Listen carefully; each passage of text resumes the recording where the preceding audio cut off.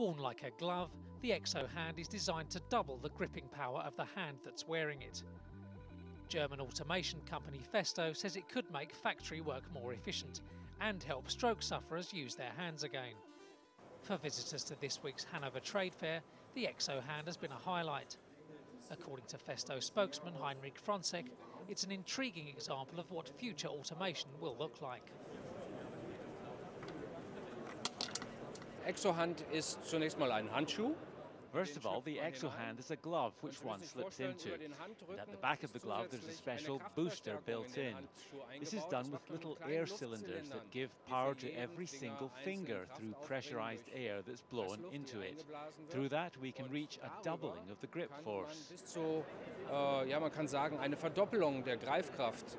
The key to the technology is air pressure. Sensors in the glove detect finger movement and send instructions via a computer algorithm to eight pneumatic actuators that move the mechanical fingers. Frontzek says the fingers and thumb can be opened and closed with the same degree of precision as a human's, giving the Exo-Hand multiple uses.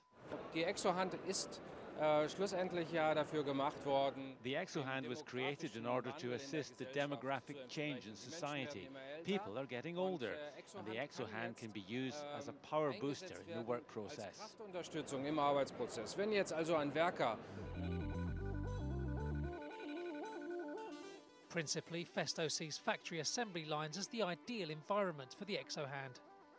But the company says that when connected to a brain computer interface, the hand can also help stroke patients suffering from paralysis to regenerate the damaged connection between the hand and the brain. Each Exo hand is customised to fit using a 3D scan of the wearer's hand. Gripping technology for an automated future. Jim Drury, Reuters.